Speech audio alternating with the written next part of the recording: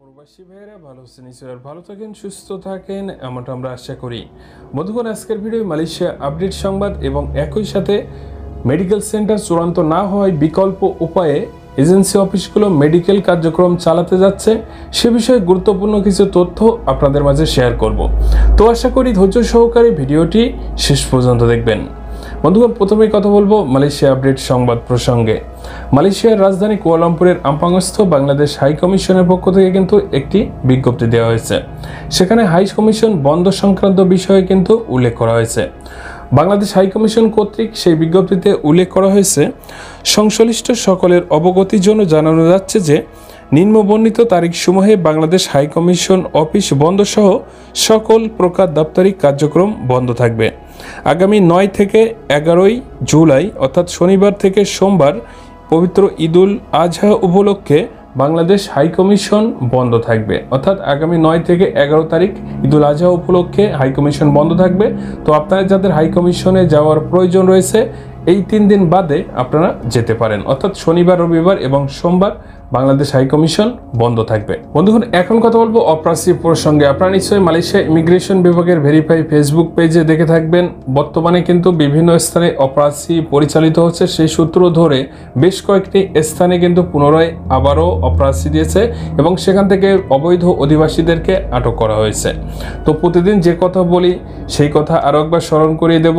যাদের কাছে কিনা পারমিট নাই কিংবা কাগজপত্র নাই, অবশ্যই আপনারা সাবধানে থাকবেন। বর্তমানে কিন্তু ছোটোখাটো বিভিন্ন স্থানে বড় ফ্যাক্টরিতে বেশি মানুষ যেখানে থাকে সেখানেও অপরাসী হচ্ছে, অল্প সংখ্যক মানুষ যেখানে থাকে সেখানেও কিন্তু অপরাসী হচ্ছে। এবং একই সাথে যে সকল স্থানের নামে কমপ্লেন আসছে কিংবা মালয়েশিয়া ইমিগ্রেশন বিভাগের হাতে ইনফরমেশন আসছে, সেই সকল স্থানে কিন্তু খুব দ্রুতই অপরাসী পরিচালনা করে মালয়েশিয়া আইনশৃঙ্খলা রক্ষাকারী বাহিনী তথা ইমিগ্রেশন বিভাগের পক্ষ থেকে।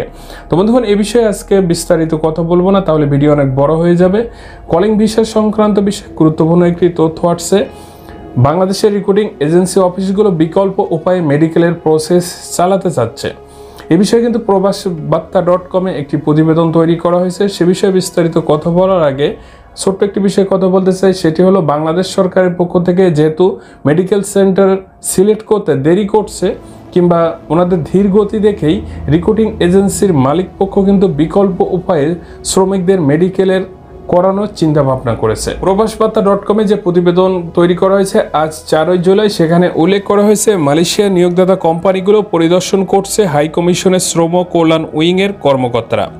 নিয়োগদাতা কোম্পানিগুলো পরিদর্শন করে কর্মী নিয়োগের সক্ষমতা আছে কিনা, কর্মীদের থাকার ব্যবস্থা কেমন ও অন্যান্য সুযোগ সুবিধা যাচাই করা হচ্ছে।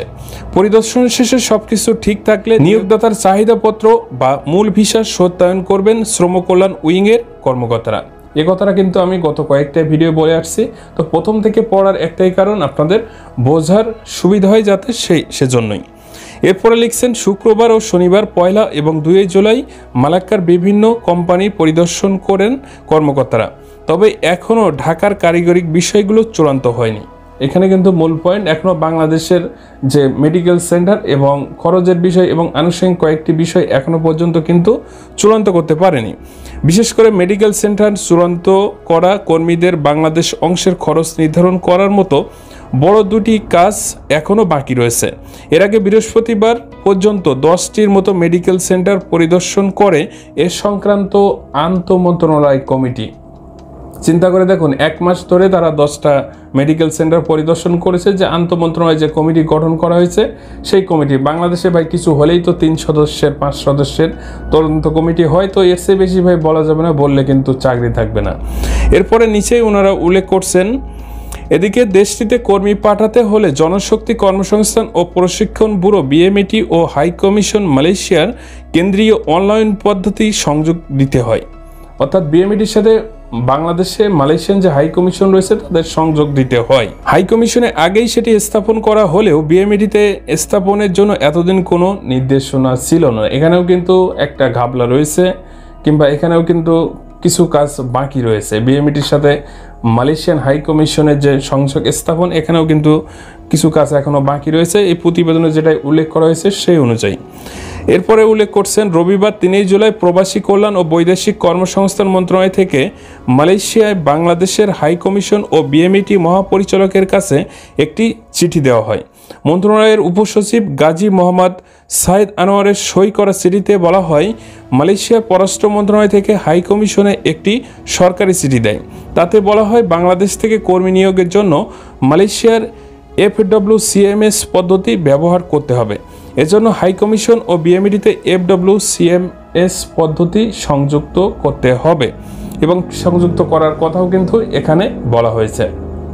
অর্থাৎ মালয়েশিয়ায় যে ওয়েবসাইট আছে এফ এফডব্লিউ সিএমএস সেই ওয়েবসাইটের মাধ্যমে কিন্তু শ্রমিক আসার প্রক্রিয়া সম্পূর্ণ করতে হবে বলে এখানে উল্লেখ করা হয়েছে।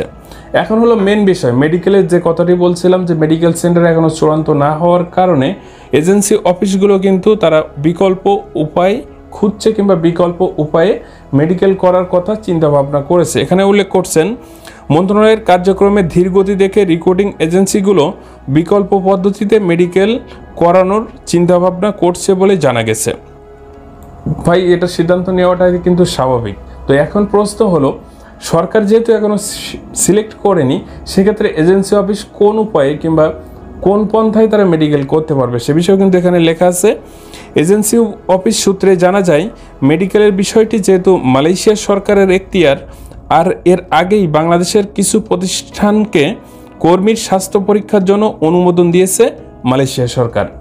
অর্থাৎ মেডিকেল করানোর বিষয়টা সম্পূর্ণ কিন্তু মালয়েশিয়ার সংশ্লিষ্ট কর্তৃপক্ষের হাতে মানে ওনারাই সিলেক্ট করে। তবে যখন কিনা রেকর্ডিং এজেন্সি সিলেক্ট হয়, সেই সাথে সাথেই কিন্তু বেশ কয়েকটি মেডিকেল সেন্টারও চূড়ান্ত করে থাকে প্রাথমিক পর্যায়ে মালয়েশিয়ার সংশ্লিষ্ট কর্তৃপক্ষ। তাই সেই পদ্ধতি অনুসরণ করে কর্মীদের মেডিকেল করানোর বিষয়টা চিন্তা করছেন তারা। এটা কিন্তু লিগাল উপায়। যেহেতু মালয়েশিয়ার পক্ষ থেকে কিংবা মালয়েশিয়ার সংশ্লিষ্ট কর্তৃপক্ষ থেকে যে কয়টা বর্তমানে সিলেক্ট করা আছে কিংবা প্রাথমিক পর্যায়ে সিলেক্ট করা আছে, সেই মেডিকেল সেন্টারের মাধ্যমে কিন্তু তারা মেডিকেল করানোর চিন্তা ভাবনা করছে, সেটাও কিন্তু বৈধ। এরপরে উল্লেখ করছে আমকা সহ অন্য দেশের মেডিকেল সেন্টারগুলো স্বাস্থ্য অধিদপ্তর ও সংশ্লিষ্ট দেশের অনুমতি নিয়ে থাকে। কোনো দেশের জন্য প্রবাসী কল্যাণ মন্ত্রণালয়ের অনুমোদনের প্রয়োজন হয় না। শুধু মালয়েশিয়ার জন্য এই জটিলতা সৃষ্টি করে, বাজারটি হাতছাড়া হওয়ার আশঙ্কা করছেন এজেন্সি মালিকরা। ভাই, সেটা হতেও পারে। মালয়েশিয়ার যে নিয়োগকর্তারা শ্রমিক নিতে আগ্রহী এবং নেপাল থেকে যে পরিমাণে শ্রমিক আসছে প্রতিদিন মালয়েশিয়াতে, সেক্ষেত্রে বাংলাদেশের শ্রমবাজার হাতছাড়া হওয়া মানে অস্বাভাবিক কিছু নয়। কারণ সেই গত ডিসেম্বর মাসের উনিশ তারিখে বাংলাদেশ এবং মালয়েশিয়ার সমঝোতা স্মারক সই হয়। এরপরে কিন্তু দীর্ঘ ছয় থেকে সাত মাস প্রায় আট, সাত মাসের ওপরে সময় অতিবাহিত হয়েছে। এখনও সাতজন শ্রমিকও কিন্তু, সাতজন বললে ভুল হবে, একজনও কিন্তু আসতে পারেনি। নানান দের দরবার অনেক কিছু প্রক্রিয়া করার পরে লাস্টে জয়েন্ট ওয়ার্কিং গ্রুপ মিটিং অনুষ্ঠিত হয়। গত মাসেই, তারপরে কিন্তু বলা হয়েছিল জুন মাসের মধ্যে শ্রমিক আসবে, কিন্তু সেটাও সম্ভব হয়নি। আন্তমন্ত্রণালয় কমিটি মেডিকেল সেন্টার পরিদর্শন করেছে এক মাসে মাত্র দশটি।